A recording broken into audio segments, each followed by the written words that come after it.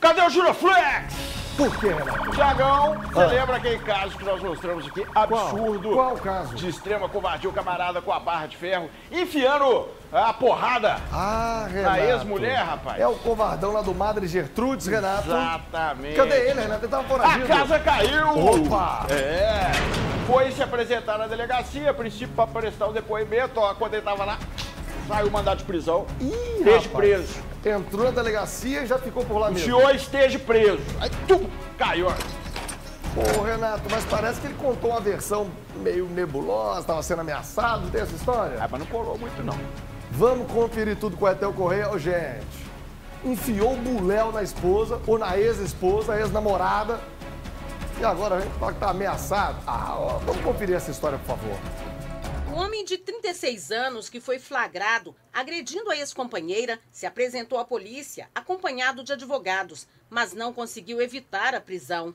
De acordo com a delegada responsável pela investigação, ele alegou que tinha uma barra de ferro no carro para se proteger e que não tinha intenção de ferir a mulher. Ele narrou que teve um apagão, que não se recorda do que aconteceu e nega agressões anteriores, bem como, como ameaças posteriores aos fatos. As agressões foram registradas por câmeras de segurança.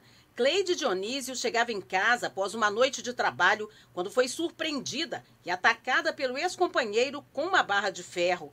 Ela foi socorrida e levada para o hospital com fraturas, além de outros ferimentos. A vítima, de 42 anos, está abalada e com medo de voltar para casa. Já estou aqui no hospital muito medo, porque que volta a me matar. A Polícia Civil apurou que o casal, que viveu junto por cerca de nove anos, já tinha histórico anterior de violência doméstica e que, após o fim do relacionamento, o homem que não aceitava passou a perseguir a ex-companheira. Marcelo César de Oliveira teve a prisão preventiva decretada. Já a mulher agredida permanece internada, aguardando medida protetiva. Cleide foi ouvida pelos investigadores no hospital e as informações dadas à polícia levaram ao pedido de expedição de medidas protetivas que ainda não foram definidas pelo Judiciário. Também levaram ao pedido de prisão preventiva.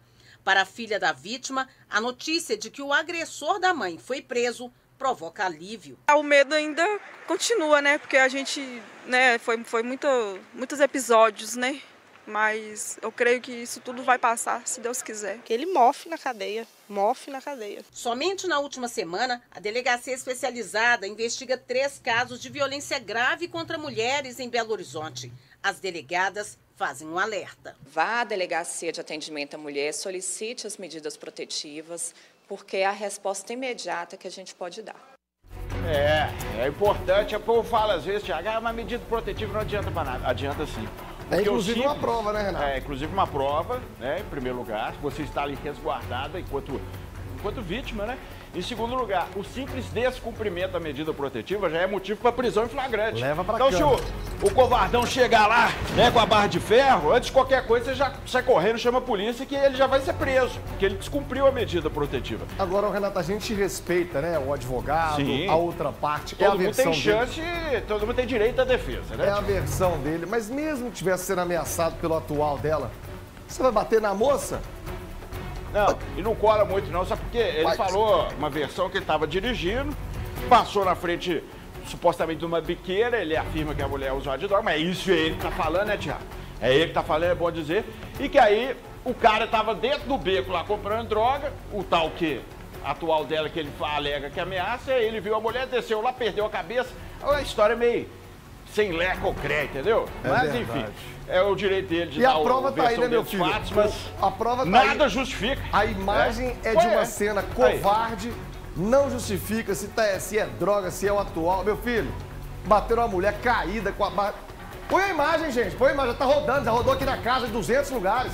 Deixa a imagem correr. Nada justifica, nada justifica uma covardia dessa. Porque nada.